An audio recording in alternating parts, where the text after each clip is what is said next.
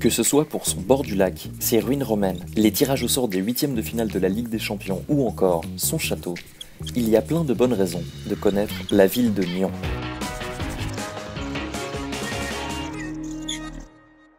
Mais le mois d'avril plaira particulièrement aux amateurs de cinéma, qui profiteront alors d'un festival international qui propose depuis 50 ans des films de dizaines de pays à travers le monde.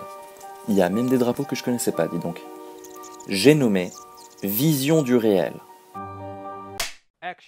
Vision du réel. On dirait ce qu'on voit après avoir inhalé des vapeurs mystérieuses pendant un rituel chamanique, mais c'est en fait un rendez-vous spécial du film documentaire. Ce cinéma qui raconte le monde, enseigne, dénonce, émeut, donne l'air malin dans des dîners, mais surtout permet de découvrir la réalité à travers des perspectives souvent insoupçonnées, au point de bouleverser la façon de voir le monde qui nous entoure.